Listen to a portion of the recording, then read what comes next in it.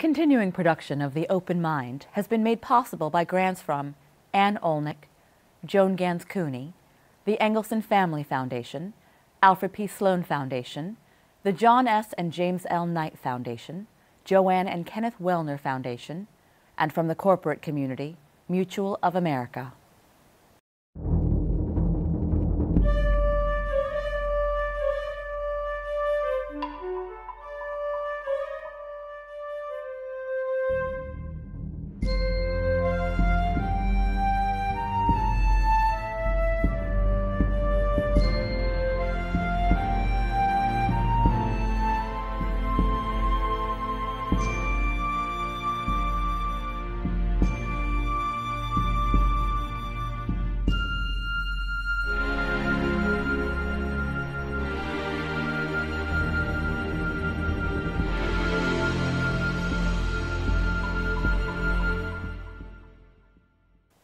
I'm Alexander Heffner, your host on The Open Mind. Civility and its demise. If you watch this broadcast closely, you'll hear my guests and yours truly invoke and sometimes romanticize the aspiration of civil discourse. In fact, recently the Washington Post profiled us as an outlier committed to that perhaps antiquated notion that civility is still achievable.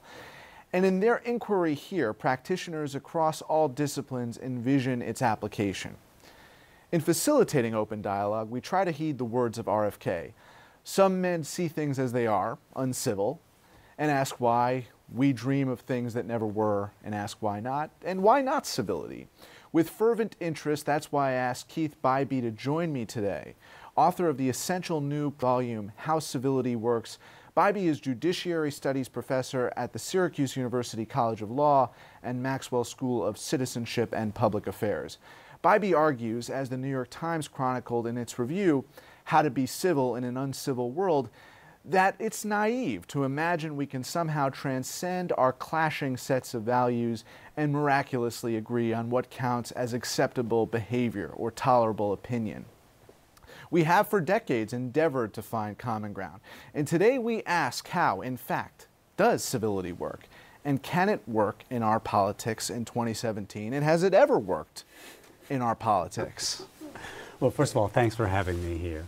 Uh, I think if we define civility as a baseline of respect that we owe one another in public life, really just sort of the bare minimum, many people would agree that the past uh, two years have really tested that baseline.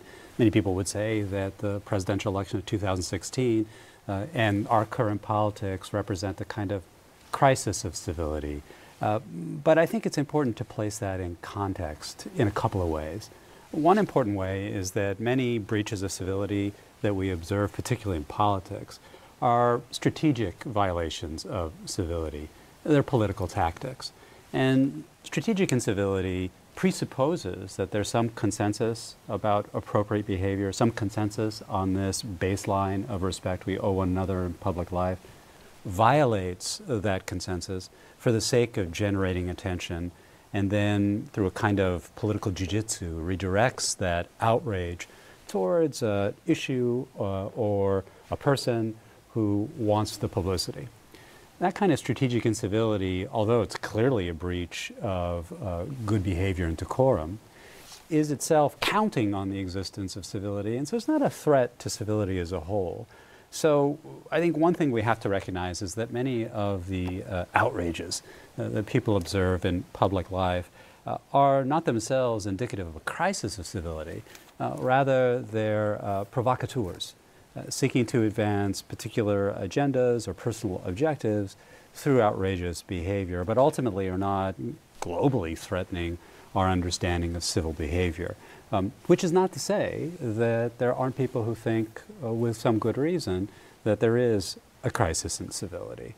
A crisis in civility or a crisis of incivility, depending upon that's, how, how that's you look right. at it. I mean, when you talk about the exploitation of incivility in the political realm, I think that, you know, we emulate, or in many cases seek to emulate, our parents, monkey see, monkey do, Yes. our presidents, our popes, our rabbis, our imams. When you write, instead, civility itself is a subject of a political struggle and debate. Um, I wonder to what extent, when you delineated between public and private at the Mm-hmm. outset of your answer, that's not the case anymore. We have a crisis privately and publicly. Right, right. Well, you know, and it is true. If we look outside this election, which seems to have lasted forever, right, and it it left us with a kind of politics that we're still uh, grappling with, people have complained broadly about incivility uh, in American public life. Our politics, even beyond any given election, are devoted towards destruction of one's opponents. Um, our media sensationalizes conflicts and relentlessly stokes animosities. Um, even in the workplace, people encounter various forms of boorish behavior. And of course, on the internet, comment sections on web pages and social media, you see all sorts of insult and invective. And so there seems to be this ubiquity of incivility. Uh, and you might say, well, where does that, that come from? Well, typically we learn civility at home, right? There's, the original homeschooling uh, is in uh, our understanding of appropriate behavior. And historically, civility was a matter not just of imitating some elite, it was imitating one elite. Uh, it was in the princely courts of medieval Europe that uh, first gave rise to various forms of, of civil or polite behavior. I think one thing that's happened in our society, although it's true we all have a a model we're imitating, there are multiple and conflicting models of behavior to imitate.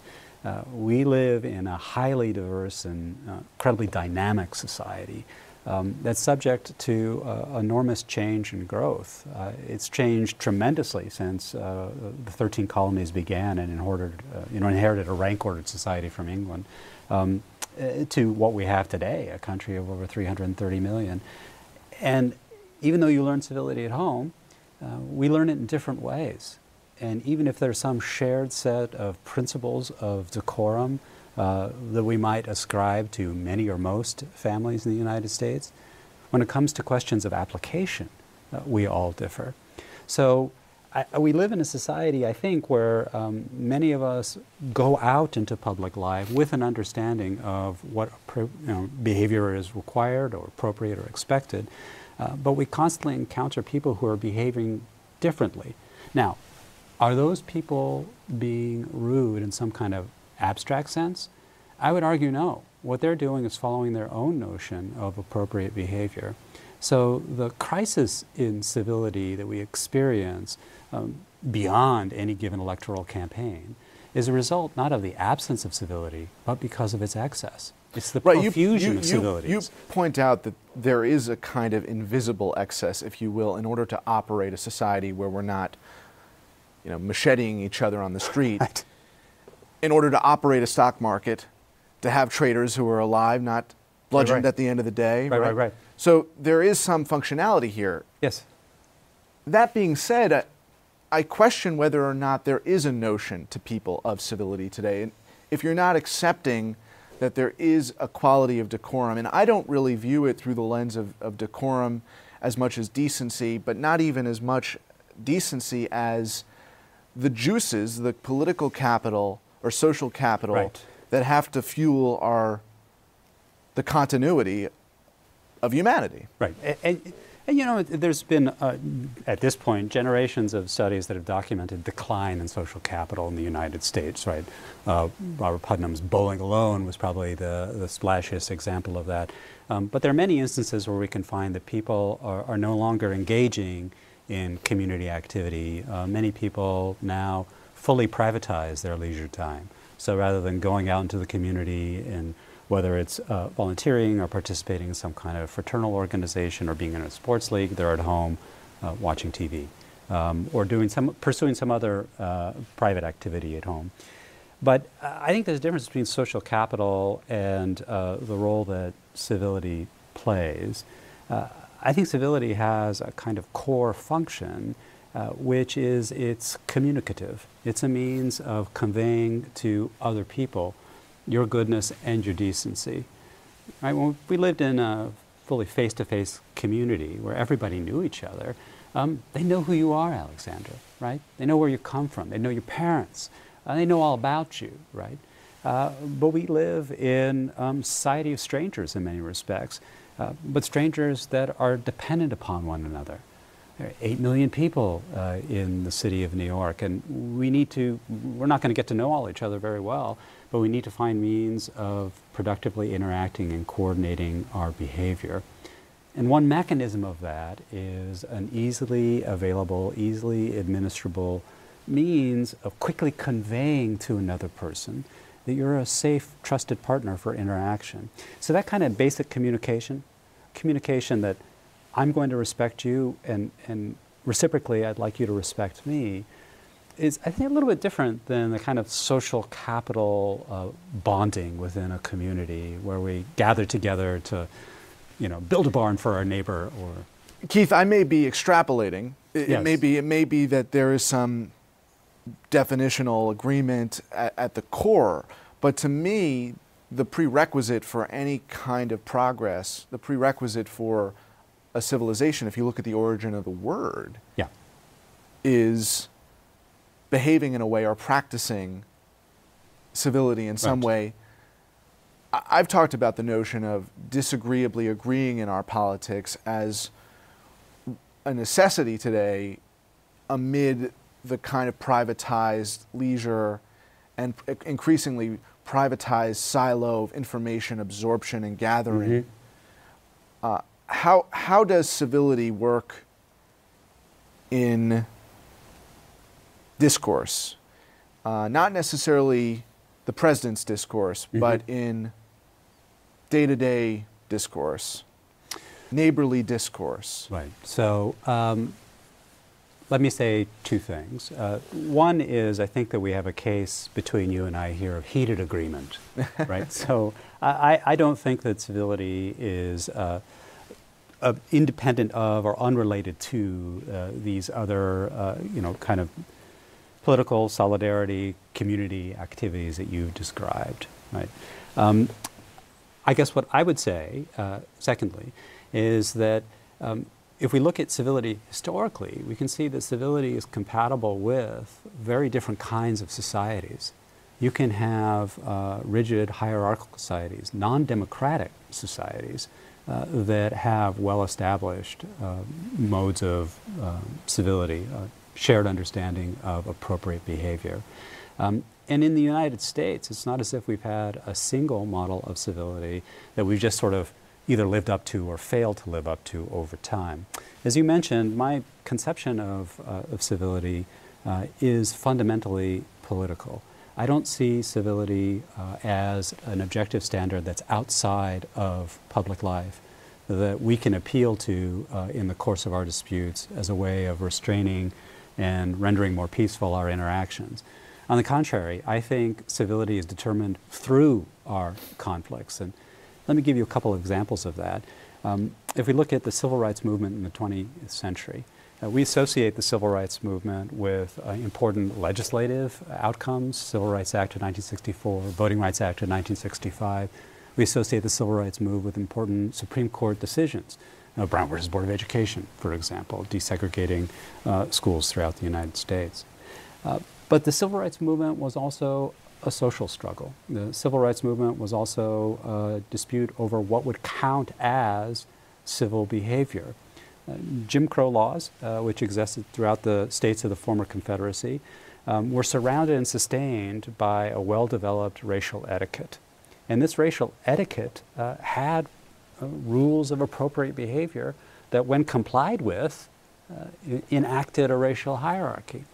And civil rights activist Martin Luther King. In other words, civility to the descendants of the Confederacy and propriety Absolutely. as I mean, being synonymous with that. Let's civil rights.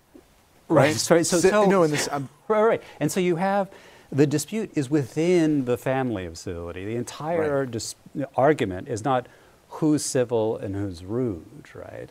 Who's behaving well and who's behaving in an outrageous, unacceptable, unacceptably rude behavior. Um, rather, it's a question of what's going to count as the rule of civility for our society. And if you read Letter from Birmingham Jail by uh, Dr. Martin Luther King Jr., he talks about this racial etiquette.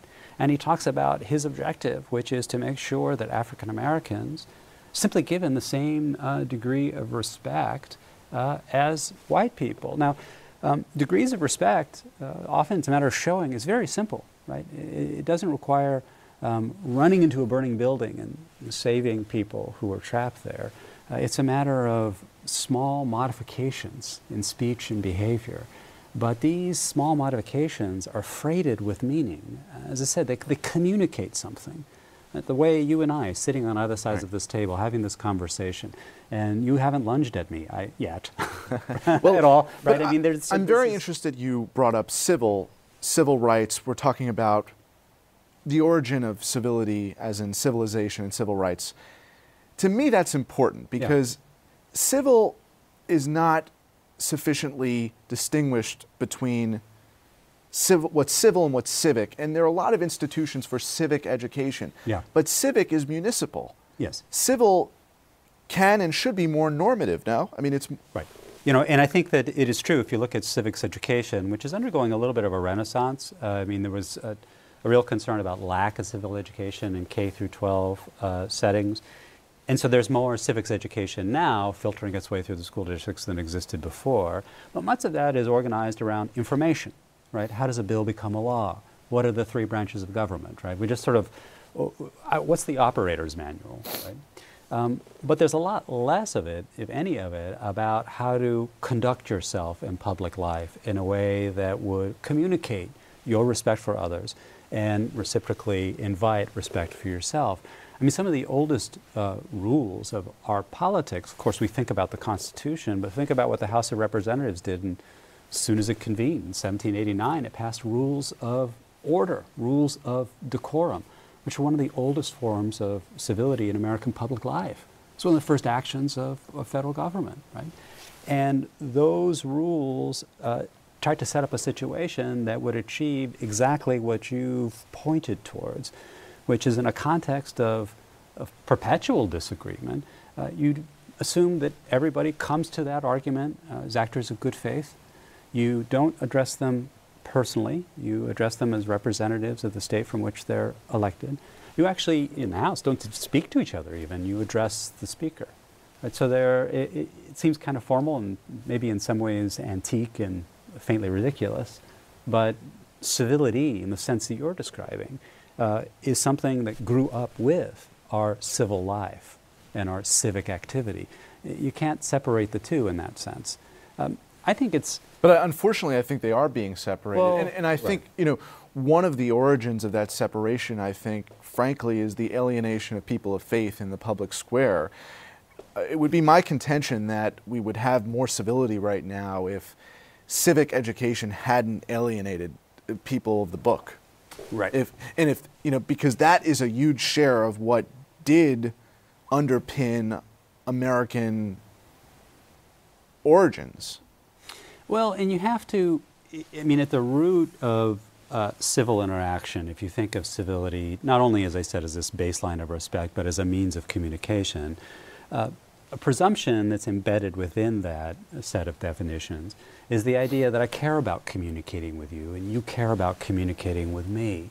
If you write off some segment of the community, if you um, gerrymander uh, the boundaries of polite society in such a way that groups are cut out, um, then they don't even warrant uh, civil treatment. Uh, right. They're, they're kind of outside of this uh, communicative exchange. And um, that kind of boundary drawing actually happens all the time. Uh, we tend to forget it sometimes because it's embedded within our history, but we look at the struggle that um, female activists had in the early 19th century. Uh, you know, for a woman to appear alone in public in the early 19th century was to invite opprobrium. I mean, this was not something that was considered to be a good idea. And for a woman to be uh, alone in a public space advocating her interests, uh, speaking about politics, could be seen as positively scandalous. So we needed to, and, and we had as a result of political struggle and slow social change, uh, an alteration in the rules of civility and the understanding of civility that would allow us to accept women as uh, advocates, women as having interests that they could advocate independently and act in politically to advance them. Um, so there was a way in which women, of course, are part of uh, the community, right? But, uh, and they had a role in public life, but giving them uh, equal standing was the result of political debate and dispute. Uh, the drawing of the lines and the relationship of different people to one another within um, a, a, civil society in the way we're discussing it, which is one that is characterized by civility, uh, is itself something that happens as a result of people advocating, people modeling uh, and advancing the sort of civility that they think ought to prevail in their own speech and action. My point is just that you're not going to preserve civil society or preserve civil rights if you don't have institutions devoted not to civic education but civil right. civility and civil education. But but hear me out here. Yeah. I would also contend that the most uncivil condition of contemporary public life is in inequity i view it through that lens mm-hmm. and i think that this populist surge is in response to conditions that are uncivil on the ground am i wrong uh, it is indecent right. to let the kind of wealth be carried by so few and also not conducive to advancing civilization. I don't know if you see it through that lens. I, I personally agree, uh, but I would say that um, as a historical and as a contemporary matter, uh, the people don't necessarily themselves define civility as requiring this foundation of equality.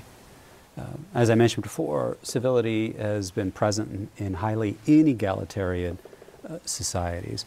Um, and, uh, you know, I think we, we've seen before uh, uh people arguing against civility. In fact, there's a long tradition of people criticizing civility because of its egalitarian foundation.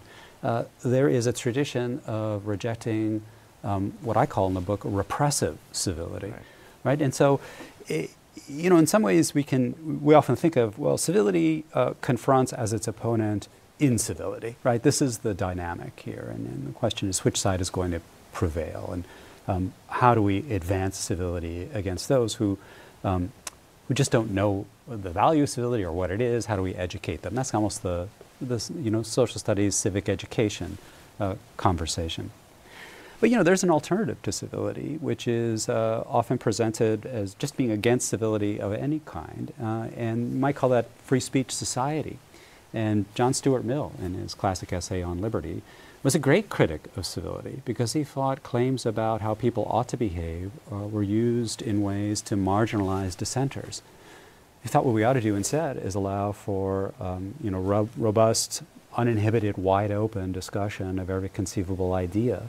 Uh, that kind of free speech and open contention would allow us to um, separate partial truths uh, from outright fabrications and identify whole truths, even things we already know to be true. It would give us a more vital grasp uh, of these truths. Um, and it would also allow more broadly, not just a pursuit of truth in public debate, but uh, opportunities for the flourishing of human nature. And as Mill said, we are not machines.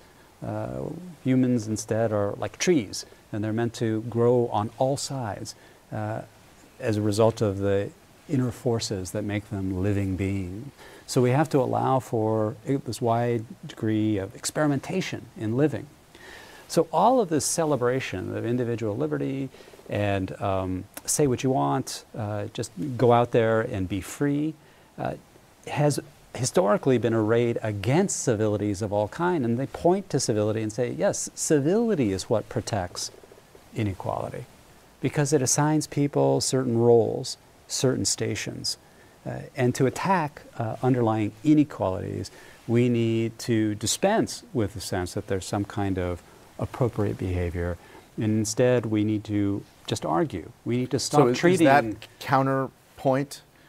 You think the pervasive wind in this country? Uh, I, I, think that there's. I, I, think it, there's a robust tradition of free speech in the United States. Uh, it's ebbed and flowed, but I think you find many uh, critics of civility today who would invoke uh, freedom of expression as their preferred mode of public interaction. Um, I think they're wrong, actually, to dispense with, with civility and talk of civility. And the reason why is because I think civility actually serves uh, the great goals and the actual everyday practice of free speech. You know, you think about uh, Mill's conception of free speech, or anybody who talks about, um, you know, free trade in ideas, marketplace of ideas, is um, leading to competition among competing points of view. Ultimately, we arrive at the truth. Competition works because there are winners and losers. And in a free marketplace of ideas, uh, we suppose that a lot of people are going to uh, make failed rhetorical sallies.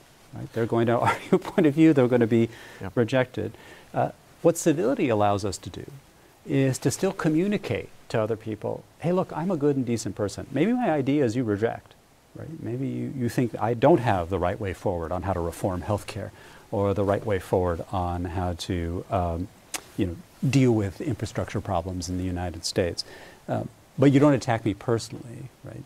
Civility, I think, can be, uh, and when properly constructed and acted, is uh, a foundation for robust exchange, free exchange of ideas. Uh, civility can be constructed in repressive ways. Right. Just as speech can be constructed in repressive out, ways, yes. right? I mean, there's the rub. When yeah. you don't have free speech, it goes back to your beginning point about the exploitation of rhetoric in the political theater, in which case this is not in pursuit of some larger truth. This is not in pursuit of some exchange of ideas. Right. This is in pursuit of the execution and realization of, an, of a political agenda. And I would say similarly, when people critique civility as being uh, repressive and restrictive, that's not an argument uh, to dispense with civility. Uh, rather, what we need is more civility, more talk about civility. What is the closest way we can capture some consensus around civility today? Uh, well, we can begin today. Any action or interaction in public is an occasion for civility. I encourage everybody the next time they sit down to eat, consider that to be an occasion for civil interaction. And privately too? And, and, and, and privately too. Anytime you're not alone is an opportunity to engage in civil interaction. Keith Bybee, how civility works. We tried to demonstrate today. Hopefully, we succeeded. Thanks for having me. And thanks to you in the audience. I hope you join us again next time for a thoughtful and civil excursion into the world of ideas. Until then, keep an open mind. Please visit the Open Mind website at 13.org slash openmind to view this program online or to access over 1,500 other interviews. And do check us out on Twitter and Facebook at Open Mind TV for updates on future programming.